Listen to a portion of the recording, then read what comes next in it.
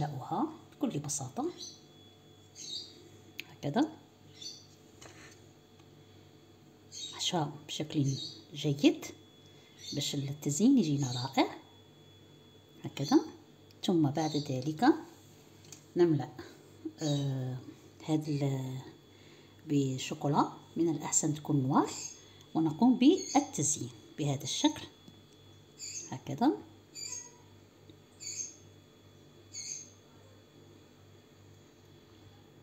ديروه مثل الشبيكه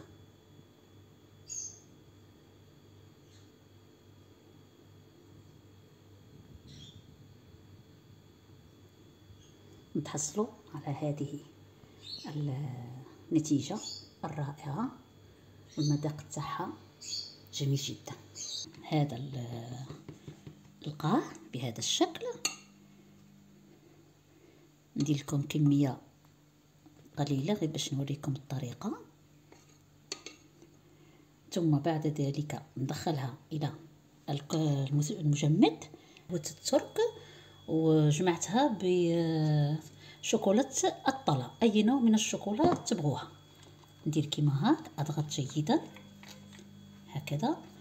البيضاء كل المساحة. ونعاود ندخلها إلى المجمد لبضعة دقائق. ثم نعود ونشوفوا الخطوات الأخيرة. ندير بهذه الطريقة نجبدها هاك ندير بهذه الطريقة. بسم الله.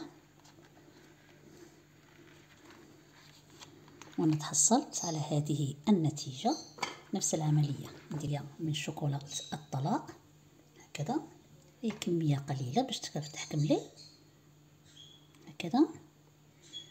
وأضيف كمية من هذا النوع من الشوكولاتة. باش يقعد نقعد في الشوكولا. وها, وها هي النتيجة النهائية. تبان لكم طبقة الحشو اللي درناها. تزيين بسيط.